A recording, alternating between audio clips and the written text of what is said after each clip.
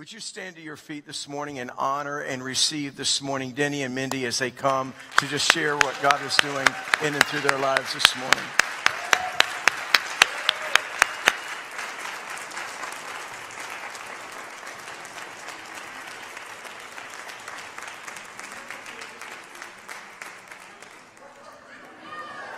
Yes.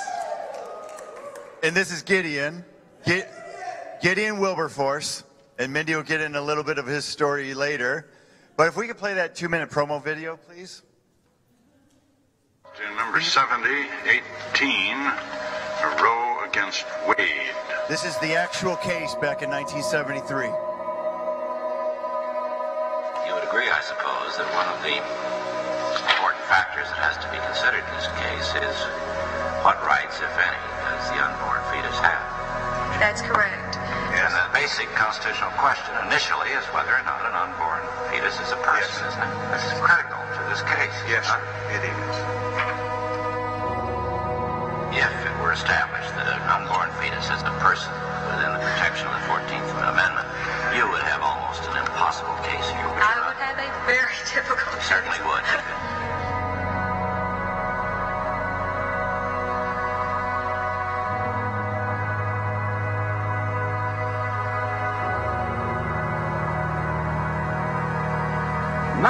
The time to make justice a reality for all of God's children.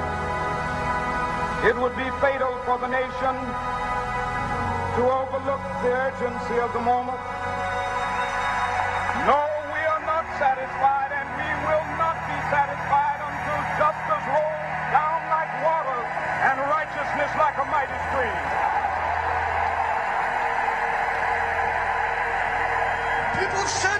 Abortion is a righteousness issue. Abortion is a justice issue. Where the most marginalized, voiceless, weakest people group in America have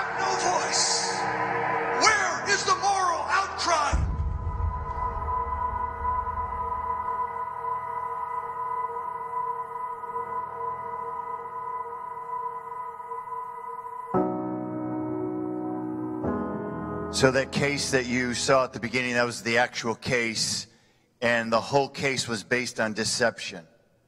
They were trying to make something legal to kill off the weak, the poor, the lame, to, to have a one race. Those who were dragging on society, they said, let's just eliminate and exterminate them all.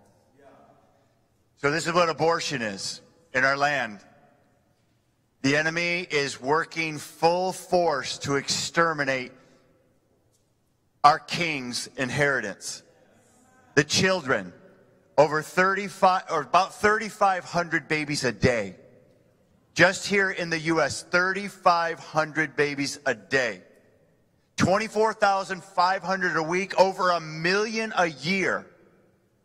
And when, when we heard that statement, where's the moral outcry? Judge Scalia, one of the nine Supreme Court justices, he made that statement before he died.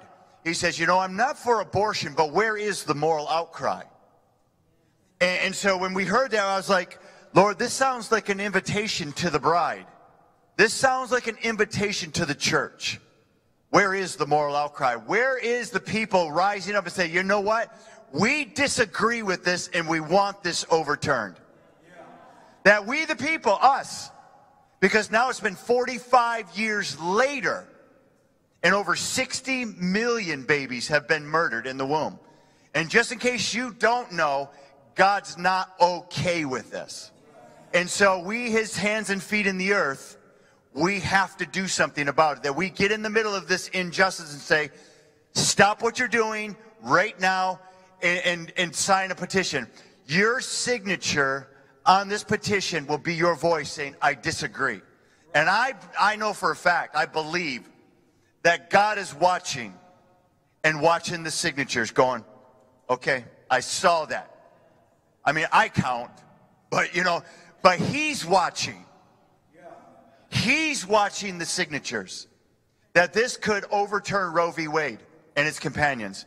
That we're going right after the throat of this thing. Right after the throw. Just like that God would use this like David's stone. And uh, that anointed stone drove it right into the head of this giant and knocked him off of his feet and then took the head. That this would be the same effect. That this would be anointed by the Lord to take this giant out of the land. So I would just want to say, we are in, in case you don't know, you know, we are in a, a Psalm 2 moment right now. That the nations are raging. There is a rage in this nation but we are also in a Joel 2 movement. We are in an Acts 2 movement that God is going to face this thing with the church, with us. We're going to partner with Him and undo what the enemy did. undo what he did. I mean, is this earth not Jesus's or is it ours? We're His children. So in 73, we made a covenant with death in this land. Nine judges got together and they said it was okay to murder babies in the womb. They said it was okay to do this. And you know, it's it's funny the way the enemy works. He just comes in ever so subtle. What's it gonna hurt? You know, I love Ecclesiastes 8, 8 11. Because sentence against an evil work is not speedily executed, it's fully set in the heart of man to do evil. It's like this thing just comes in a little bit, and then all of a sudden we look back and say, What did we do? Because you shed innocent blood in a land, and you will reap the rewards. So, what I want you to engage, we come to you unapologetic. Something has to be done. And so, we're gonna, we want you to engage in the story with us, our storyline engage in what the Lord did.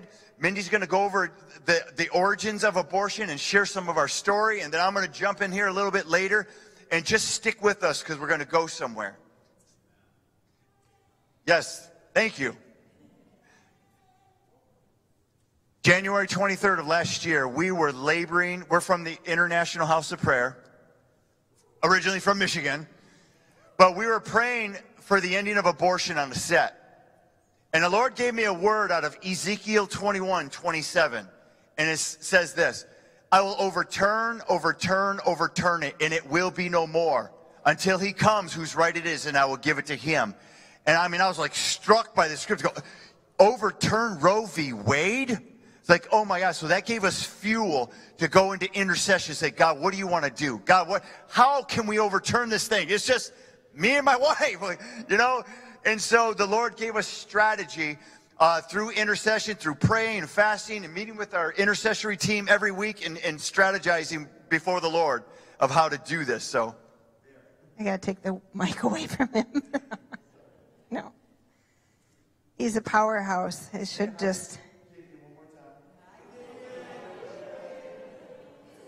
We're going to hope he doesn't get hungry in the next 15 minutes.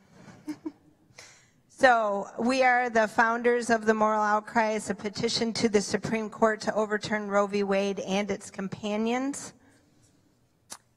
We had gotten a word shortly after the scripture word. Uh, somebody approached us that didn't know us. We didn't know them. And they said that every time they were in prayer, they kept seeing our faces. They knew us by face. That we would be involved with the challenging of Roe v. Wade. But she followed it up with saying, But I wasn't sure if you were planning to be pregnant. What she didn't know was we had just adopted legally four six day old frozen embryos. So I'm going to explain that in a minute. But because of that, it caused us to really go into prayer for strategy. I mean, when she said that, I got hot from head to toe. I was like, oh man, I don't, no, we had been walking out the unborn issue and spirit of adoption for many years, but this was a whole new level. Contacted a high profile attorney, asked him what he thought, how would we challenge, what was the criteria. Um, he started sending me things. Went into prayer, and on March 9th, I woke up went in my prayer closet and said, Lord, what's the strategy? I just started an Esther fast. And the Lord said, He showed me a vision. He gave me the vision off of a movie, Amazing Grace. If you haven't seen it, you need to see it. William Wilberforce rolled out his petition before Parliament to overturn the slave trade.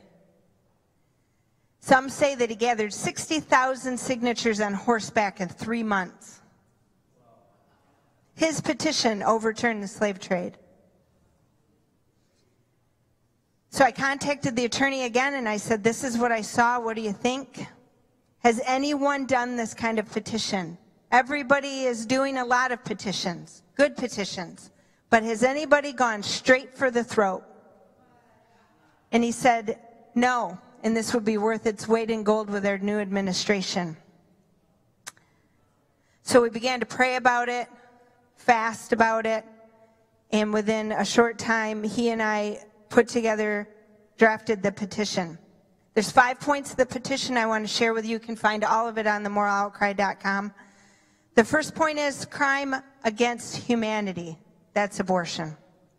Second point is abortion hurts women. Scientific evidence that it hurts women.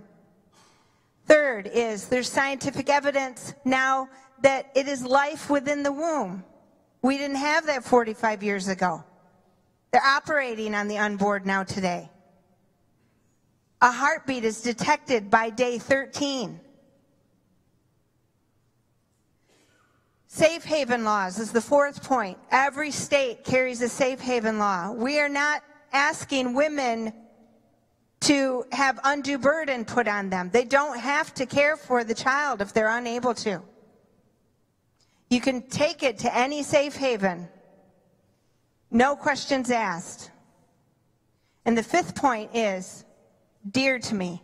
There's over a million families at any given time waiting to adopt a newborn. I don't have a lot of time, but I'm going to just scratch the surface on the origins of abortion in case you don't know. Of course, it was all based on lies. Norma McCorvey, who was Roe, was completely lied to and completely duped into doing this. After she gave her life to the Lord, with my attorney, went to the Supreme Court asking for them to undo it, and no one would listen. But abortion goes way back to the 19th century. It goes back further than that. But our origins of abortion goes back to the 19th century with the word eugenics that was created by a man by the name of Galton. He was the uh, cousin to Darwin. Eugenics is to wipe out the old, the poor, the handicapped, the degenerate, anyone with colored skin, to create a perfect race. Abortion actually became legalized because of contraceptive. Every hormonal contraceptive on the market today is abortive. It actually has three functions. We're only told it has one, which is causes the woman not to ovulate. If she ovulates, then it causes the sperm difficulty to get to it. If that happens, now what do we have? We have a baby. And then the third one goes in where it's, uh, the baby is unable to attach to the side of the uterine wall. Everyone knew that conception happened, or life happened at the moment of conception. It was in all of our medical books up until 1965. They couldn't get the pill legalized because they knew it aborted and abortion wasn't legal. So they changed the stance on when life began. So saying if that baby attaches, then it's life. So they got the contraceptive legalized, and then abortion was the next thing. Sterilization is part of eugenics. Vasectomies, tubal ligations. We've all been lied to. This is just taking, ripping the covers off of this thing, of understanding what we've been told and what the Lord says. I know it's a hard thing, but I believe that fruit of the Spirit of self control is God's idea of conception. He created the marriage to bring forth a godly seed. He didn't ask us to shut it off at 2.5, though many of us did. Uh, I'm guilty. So I know that I'm only addressing a handful of you because most of you probably believe absolutely straight across the board abortion is wrong. I'm fully pro life. But then there's some of you that aren't sure because maybe abortion has touched you personally. Or you look at the stats of the children that are abused and neglected that go into the system and you want to say, well, they'd be better off, you know, back with Jesus right away. We don't get that decision. We don't get to decide who gets to live and who doesn't. Jesus is the only one. He is the one that is the giver and the taker of life only. The scientist that's in the lab creating for infertility, he's not creating life. He has no power. Jesus is the only one that decides whether that baby is fertile or not. The Lord told me, Mindy, whether a child is born or created from trauma in a back alley or on a beautiful honeymoon night or in a glass dish, he said, I'm the only one that says whether it lives or not because I have a plan and a purpose for every single life. We don't get to decide. We don't get to have an opinion. So, a few couple years ago, I was on an early morning set at the International House of Prayer. I sing, and our worship leader said, "If you could just see what's beyond these doors." I instantly went into a vision, and I was standing at these large, beautiful wooden doors when they were cracked open, and I could hear giggling on the other side. When I looked in, I saw Jesus sitting at the back of the room with bubbles all around him, and he was playing with them. He was blowing them and tapping them, and they're floating to him. He had a huge smile on his face. As I got closer, I could see that in every bubble there was a baby. And that's where the giggling was coming from. He lifted his hands and simply said, Pick one. I came out of the vision weeping and said, Lord, what did I just witness? He said, I want you to loan me your womb. At the time, I was fully menopausal already. I had already gone through. I was turning 50. It had been 27 years since I'd given birth. I came home and shared this with Denny. and his response was, I'm not sure why the Lord would want us to do that when we have fought so hard and stand in the gap for the child that's about to be torn from the womb or the child that's about to be born from the womb and needs a safe family to be adopted into. Why would he want us to do this? What's the point? A few nights later, I had a dream where I was standing at my kitchen sink. I had something in my hand, my water was running. I flipped on the disposal, ran my hand under the water, and I knew instantly that I had just crushed an embryo, the earliest stages of life, in my sink disposal. I woke up weeping, and I heard the Lord say this I'm so sorry. I don't know how it's to show you how I feel about this. He said, whether life is so small that the human eye can't see it, or a baby fully formed being torn from its mother's womb, he said, I stood before them both and declared plans and purpose and destinies, and I grieve equally for both. Shared it with Denny that morning. We had to repent. As pro life as we were, we were still putting our own human value on life, saying, well, this one feels, this one's about to take a breath. Those 600,000 frozen embryos due to fertility, are they really life? The Lord says He knew them. He knew us before He formed us in our mother's womb. He stood before each and every one of us. He has a plan. So we said yes. I went through the process, found out I was fit as a fiddle. We were offered four embryos that had been abandoned at the clinic. Three boys and one girl, six days old. Every ounce of our DNA is there. That means there's blood, and there's life in the blood. This is making a case for life. The case that you saw, this is about does the unborn have rights? Do you know that the embryo has rights? That women go to painstakingly conditions to have an embryo placed in their womb because they know it's life? And we're debating whether a swollen belly is carrying life?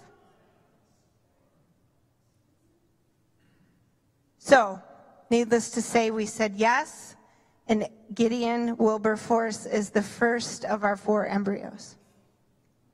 He's five months old.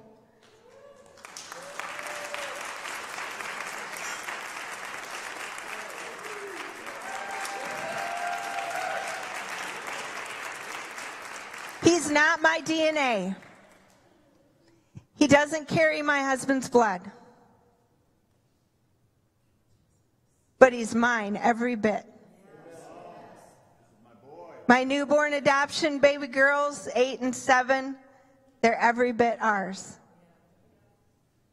I want to leave you with this before Denny comes up here. The polls are about to open. I want you, when you stand before that paper, that you remember the unborn. That you can set aside your political views this time and just vote for the unborn. Vote for life. We are in a critical moment.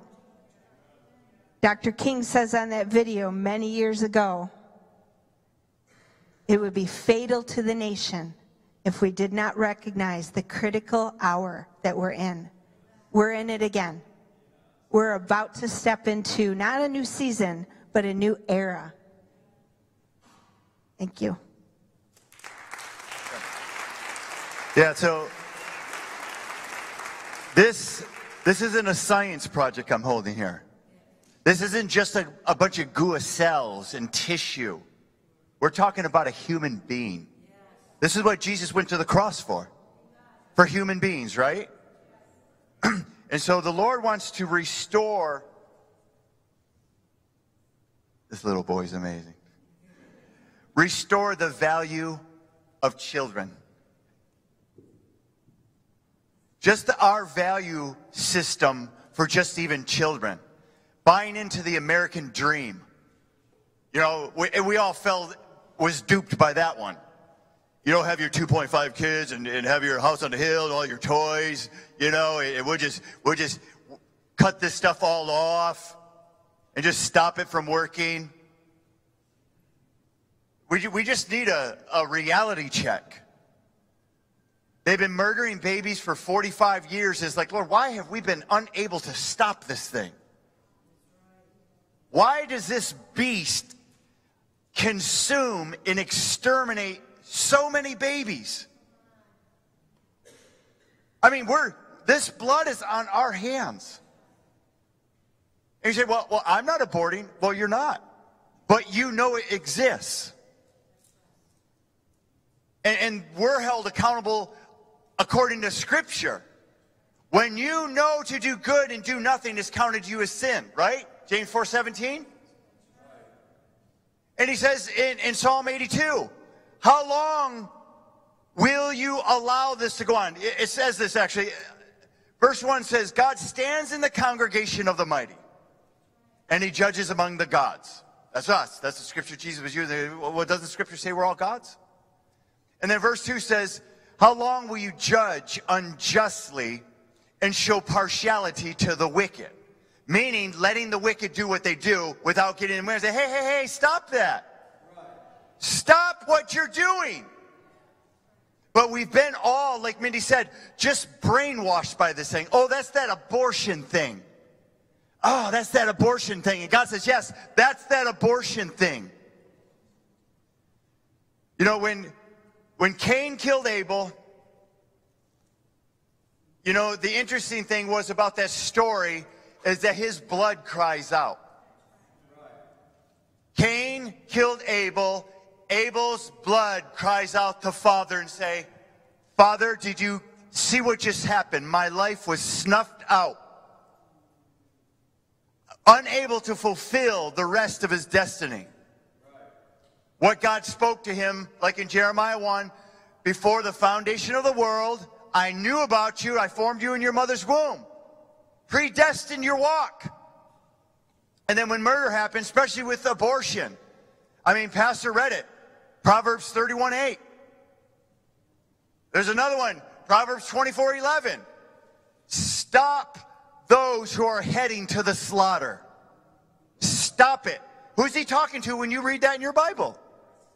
Exactly. He's talking to you and me. Not only for you, but as a congregation. Stop those who are heading to the slaughter. So that was, oh, we stop it, we just get right in the middle of it. And I, I will never forget last year, October 9th of last year was our launch date for this. By that time, we had about 57,000 signatures, 57,223 or something like that. And we were at the Supreme Court, right across the street in a house of prayer.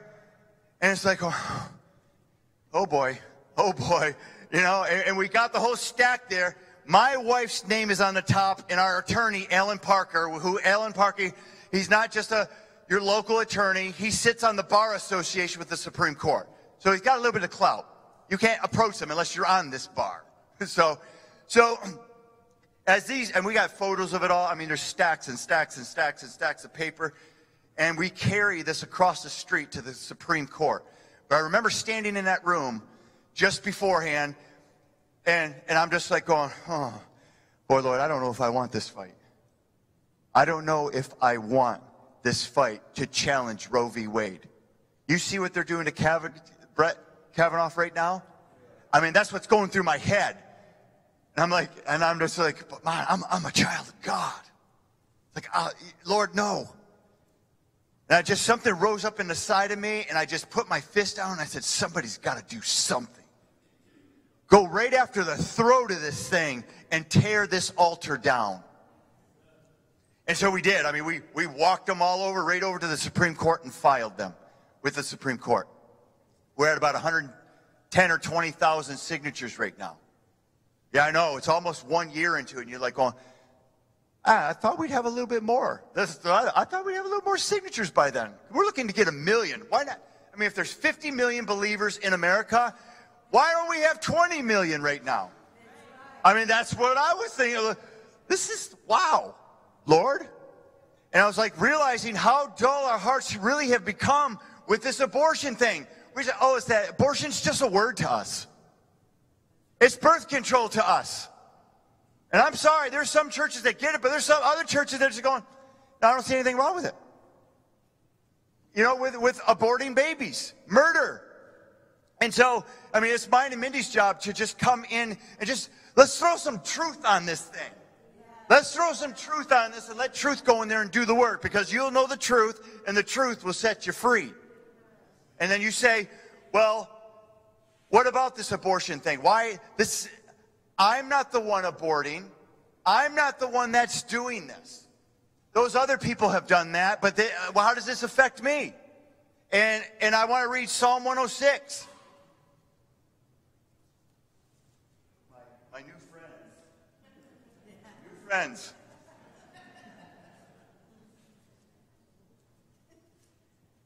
I want you to understand when this thing comes in and eats away at a culture, it eats away and eats away and eats away and eats away, eats away, eats away.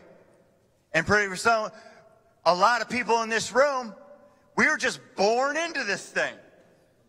Just born into it, and we just put on our coping spirit.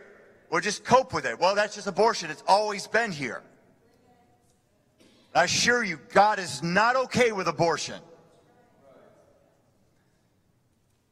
Psalm 106, 35. But they mingled with the Gentiles and they learned their works. They served their idols, which became a snare to them. They even sacrificed their sons and their daughters to the demons. and shed innocent blood, the blood of their sons and daughters, whom they sacrificed to the idols of Canaan, and the land was polluted with blood. Thus, they were defiled by their own works and played the harlot by their own deeds. Judges chapter 6, Gideon. Oh, the Gideon story. We know the Gideon story, right? Why my son is named Gideon, Gideon Wilberforce. God shows up to Gideon and says, Gideon, I've heard the people's cry because God told them not to do some things and they did it anyways. Does that remind you of a people? Don't do this, and we just do it anyways. And so Gideon's hiding out in the wine press, threshing the wheat, because their land is being completely purged by their enemies. They're robbing, stealing. They don't. So he's hiding out. The angel of the Lord shows up and says, "Gideon, almighty man of valor, the Lord is with you." Gideon makes this statement: um, "If the Lord's with us, then uh, what's going on in my land here? Because if God was with us, this wouldn't be happening." And basically, uh, I'm paraphrasing here, this is my version of the story, but go in and read it later. I think it was interesting. God asked Gideon the first thing to do. He says, Gideon, you want me to come in and heal your land? I can do that. Do you want me to? I'll even turn your enemies against each other. I'll just let them kill each other off. If we find out later in the story. He says, Gideon, but this is the first thing that I want you to do. Before I come in and I'm going to bless your land, before I come and do this, I'm not going to come in there. He says, I want that Baal altar that your father erected in the city town to be torn down and burned up. The Baal altars back in the day, they used to sacrifice their sons and their daughters on the altars of Baal. They would do it for prosperity, fertility, all the, I mean, the firstborn on an open flame, on a fire. And we said, well, well, that's not what we're doing. Well, we're doing it out of convenience. We're doing, well, I'm not really ready for this right now. Well, I got a career ahead of me. I'm doing this. I can build my. I've heard them all. Well, probably not all. And so we say, okay, wait a minute here. So does abortion affect me? Because in the story of Gideon, they rebelled against God and they started sacrificing their sons. And by the way, this is over and over and over and over in the, in the Old Testament of these Baal altars. It's, it's, it's sacrificing their sons and their daughters to the demons. There is a demonic force behind this thing, waging war, trying to consume the prophet the teacher, the evangelist, the fireman, the nurse. I mean, if he, he tried to do it with Jesus, tried to do it with Moses. I mean, this is a, he's, he said, kill every one of them in the womb. We Get as many as we can. This thing is a, a beast. This thing thrives on the blood of shedding babies. That's what gives it its strength. And, and we just say, we have to get in the middle of this thing and just say, enough is enough is enough. You should sign this and get 10 of your friends to sign it. 20 of your friends, your sphere. Get everyone and cause this thing to go viral. He says here in Psalm 106, he says, it'll contaminate and pollute everything. So let's just do a check here in America. This thing has polluted and contaminated our marriages, our children, our schools, our nurseries, our religion, our churches, our food, our water, sickness. I mean, you make a covenant with death. God takes that serious. We might not take it so serious because we love Jesus, you know. But I mean, I'm telling you, just sickness comes in. He's like, well, why can't I shake this thing? I remember being in intercession. It's like, man, going after the Lord. It's like, why does there always seem to be a ceiling? Man, why can't we break through that thing, Lord? Why can't we break through that thing? I mean, this went on for months and months and months. And the Lord just said, because this shedding of innocent blood over this land, you made a covenant with death in 73. And it has contaminated and polluted everything. Our thinking, our morals. I mean, the morals of this nation, it's just. Uh, whoosh. And I mean, anything that you can fill in the blanks. I've went to some graphs on just the internet since about 1973, and it's just amazing. You see suicide rate. You see divorce. Like, oh, man, you're really serious about this, God, aren't you? He says, Yep, you make a covenant with death. Death brings all of its friends in sexual immorality, fornication, pornography. I mean, and, it, and again, it has saturated, and it, it's like we live in such a compromise right now. Such a compromise.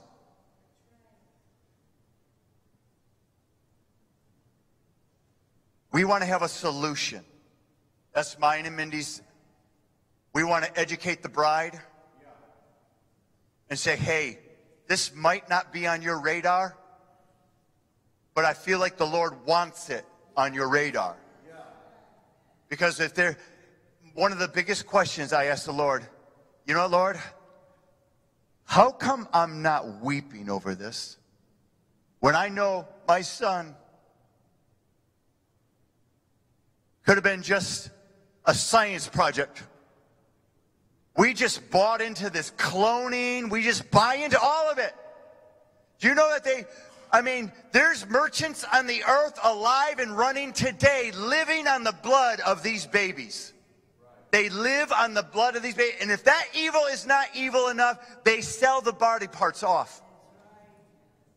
I know. It just, oh, Lord, have mercy on us. And you know what? We cry out for mercy every year in this nation. We cry out for mercy. God, have mercy. Another th- million babies this year, have mercy. And you know what's so funny about it? I just dialoguing with the Lord. I said, you know what, God? We cry out for mercy every year and you give it to us. You, you do, you give it to us. But yet when you're crying out for mercy, mercy requires a response of, hey, we're going to turn from our evil ways. Have mercy on us. We won't do that no more. But we continue to our same pattern. The same pattern. We are living in an hour right now that casual Christianity, when things, re- you think Kavanaugh, that little, that was just a foretaste of what's coming. That was a circus. They, they own the media. They own it. If we as believers are not ready for what's coming, and that's what we want to get the bride ready for. 3,000 babies a day. Okay, Lord, what's the battle plan? He says, I want you to tell my bride to look into the harvest of these babies. Because we're not going to, when it gets overturned, and I, I assure you, he's going to overturn Roe v. Wade. And, I, and, and when that covenant of death is broken off of this land, I believe us believers are going to feel the hand of God go, well, there you are. Oh my goodness, because you make a covenant with death, says, okay, I'm going to give you what you're asking for. If this is what you want, and my church isn't going to get loud about this, I'm going to give you what you're asking for. Then go ahead, kill off your offspring, kill your babies. And you see what happens. And we see our nation today. Everything you can possibly imagine has been contaminated and polluted in this nation. And I, I want to put the church right at the top of that. We're going to shift gears here. Not too much, but we want to have a, a game plan here. You look at 3,000 babies a day, 35. We're going to build a, hey, okay, let's build a whole bunch of orphanages and, and we'll put these kids in orphanages and, and then we can throw some into the foster system because that's overran. So, hey, what's a few hundred thousand more? Yeah, I, that's what I say. Yeah, I think not. I say, let's get ready, church, for what's coming. Because when Roe v. Wade, get ready now, your heart. So when it does happen, or it might even happen now, it might even happen next week. Say, oh, I have room at my house. Yeah, I have an oh, empty seat. Girls, scoot over. I have the privilege. We have a, Gideon's our fourth adoption. I look at adoption as a, a romance. And I don't look at this as something I have to do. I look at it and say, I get to do this. What an honor.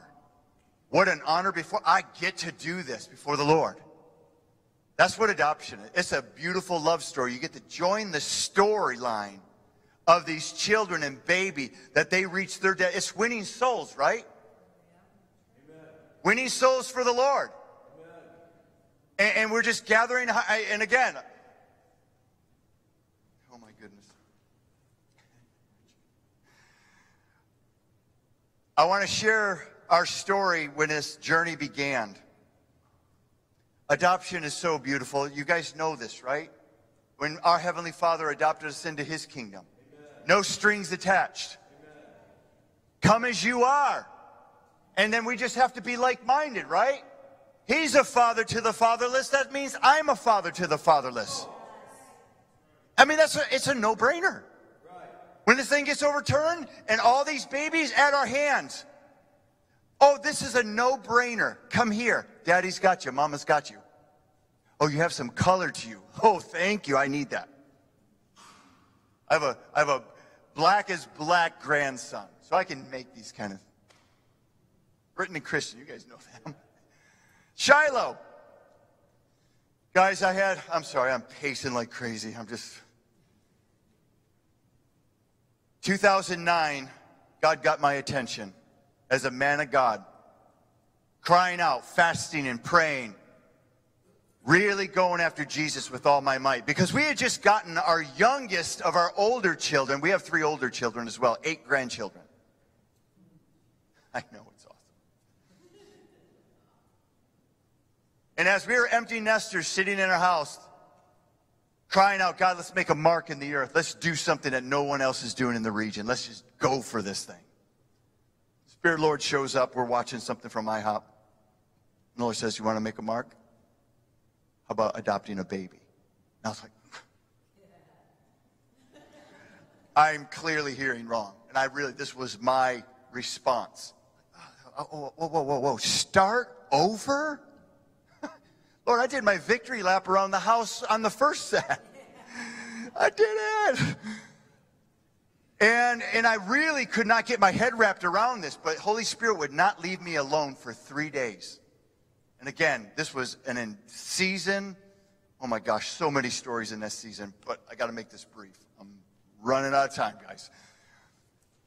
So we say yes to this adoption thing. Three days later, I grab Mindy, honey, I cannot shake this. Holy Spirit keeps speaking to me. He says, adoption, a baby, adoption, a baby. And it's like, I can't tell him no. And Mindy says, I've been hearing the same thing. So we grabbed hands in our 40s, empty nesters. God, here's our yes. We don't have any idea what this even looks like, but here's our yes. We threw God our yes, and nine months later, we had a baby. We take this little baby, we get her home, and said, God, what now? We, we did this. We got a baby now. I make a decision back in, or the Lord just drew me into just spending every morning before Him. Every morning, and I've been doing it every morning for, uh, oh gosh, it's been a while now, since 2005. So when I get little Liren in my house, I got a baby, and Mindy says, honey, you're still running your company and stuff, and I'll take Liren at night and and I said, well, I'll take Liren in the morning. I'll just go in when I want. And so we made it, okay, okay. So I grab Liren and I pull her into the, my prayer closet. This is uh, 2010. I remember that commitment I made in 2005. Every morning, just you and me, Jesus, uninterrupted. I got Liren in my arms. I step into the room. I'm like, ooh, I'm having a debate with the Lord. I'm like going, oh, wait a second here, Lord. I double booked. I told you every morning till your return, and now I got a baby in my arms. I told you I was dull. And like, how do you feel about that?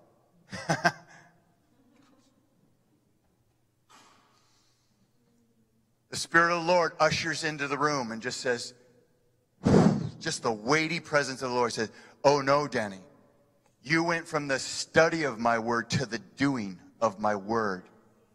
I am well pleased of what you did.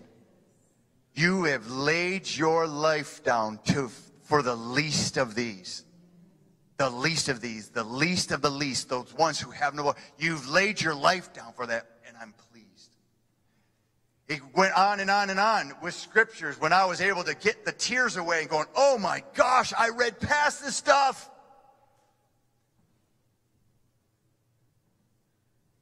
Takes me to Matthew 25. Says, Denny, you know when you feed her, you're feeding me. You know when you clothe her, you're clothing me. When you change her diaper, you're changing my diaper. Right. When you give her water, when you bring the stranger in. Right. I'm going to ask this because I didn't last service, but I ask this at every church. How many has brought a stranger into your house or even clothed a naked person on the street? How many in this congregation? Okay, we got two, three, four, five. Wow, this, it's usually one or none.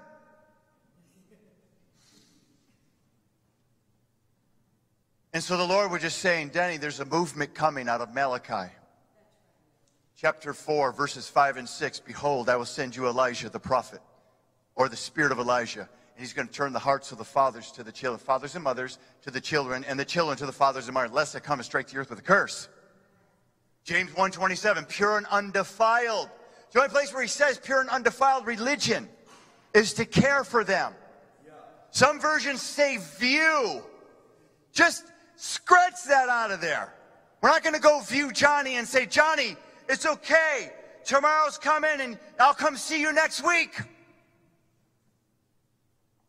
He said, Be a father to the fatherless. My father is in my business every day. That's what a father is. That's what a mother is, that he's in our business every day. I mean, I'm feeding Liren and I'm weeping. He says, I, You're feeding me. I was that stranger. You brought me in forever.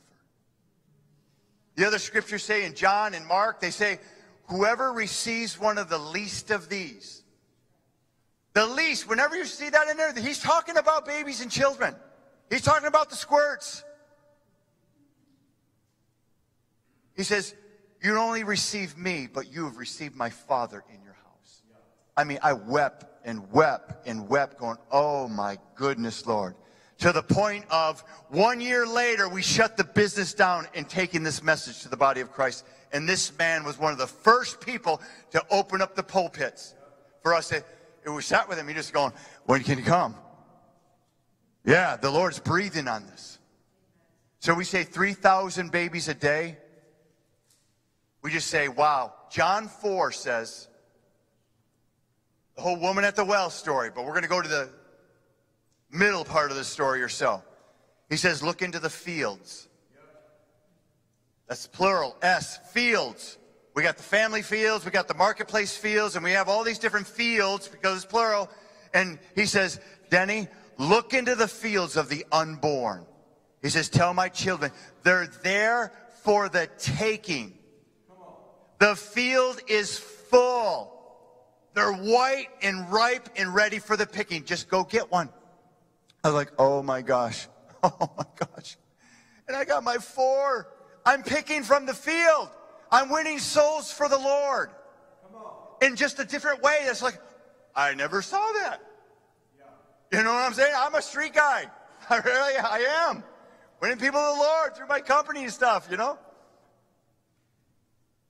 So, we're here, we're done. I'm over, guys. You know, we're in an hour, an urgent hour right now.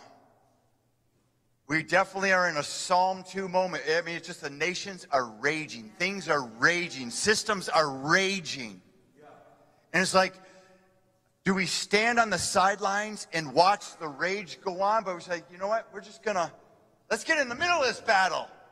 And it's like, no, no more abortion. No more murdering these babies. We want the covenant with death broken. Come here. Here, I'll take those blows And let me get this one, and I'll take those out in intercession later. Take the blows for these babies. Get in the middle. It's justice. That was another word he gave me. He said, You tell my children, you tell the body of Christ, I want justice for this injustice in the earth. We're going to be held accountable for this. And again, not everyone's going to adopt. That's not, but man, we got our intercessors. We got our singers that are going to write songs about this. We have our money people say, Here, I can't do what you do, but here's my money. Do that. Or pastor getting up here, you know what?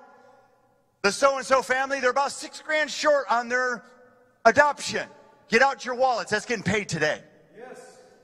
That kind of, I mean, we're talking about a human being. Who places value on it? I know one man does. I know one man. The Son of the living God, because he died on the cross. And he wants this injustice faced. He wants us to address this thing as one. This is way bigger than Mindy and I, way bigger than us. So, your intercession, your time with the Lord, uh, adoption. I know the Lord's already speaking to people about adoption in this house. So, it's like, I mean, we get to do this winning souls for the Lord. So I, I'll just pray, Richard, please. I hope you captured the vein of the Lord in this. Because we walk out of here and say, oh, that Denny and Mindy, you missed the picture. You say, wow, what's Jesus doing in the earth right now? I'm telling you, there's a harvest coming. And it may not be the way we were thinking. Oh, although that is going to happen. Both and both. You know, the great harvest, absolutely. But this is a subject that's dear to, to the Lord. That's what the whole upheaval is right now with Kavanaugh. I mean, this whole thing is about abortion. They don't want it overturned. But we got to be a voice. Where is the moral outcry? So, Father, I'm asking that you massage our hearts again and again and again and again. And we sign up today all over again and say, Lord, we won't, not on my watch, we won't let anything happen. We won't do it. We're going to get in the middle of this evil and bring justice because you're a, a just God. So, Father, we need your help. We need strategy. Stir hearts, God. Stir families, stir moms, stir dads. We want to feel what you feel about this, Father, in this room, in this house. God, we ask that you do this in Jesus'